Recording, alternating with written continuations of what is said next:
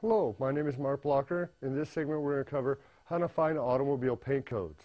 Okay, on most all automobiles, the paint code can be found inside the driver's door on the door jamb.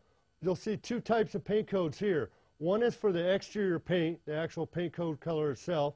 The other one is for interior color. The one you're going to be concerned with is just going to be the plain color one, and that's the paint code itself, G-83P-3.